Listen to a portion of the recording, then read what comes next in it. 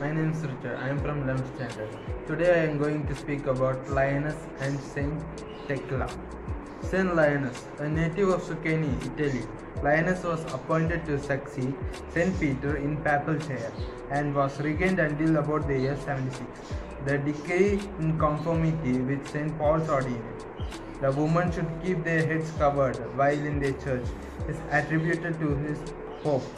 No record has come down to us of any persecutions of Christians between the reign of Nero and that of Domitian, but the church venerates Saint Linus as the martyr. And Saint Thecla. Saint Thecla, the apocryphal of Saint Paul, and Thecla, which made their appearance about the year 180, are doubtlessly built on very early and genuine tradition. Saint Thecla it was converted to preaching of Saint Paul during his first missionary journey.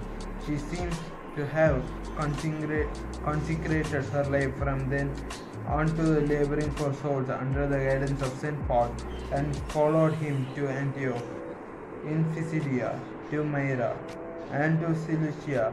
In the prayers for the dying, the church make reference to Saint Thecla three torments being expelled, destitute from the home. Of her pagan parents being exposed to wild beasts in the area and condemned to be burned at the stake.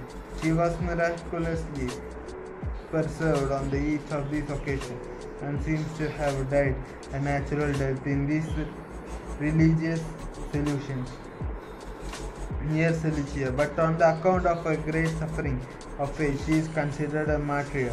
The church erected over her tomb and became one of the most celebrated shrines in Christendom. Reflection You shall be made sorrowful, but your sorrow shall be turned into joy. John 16 20.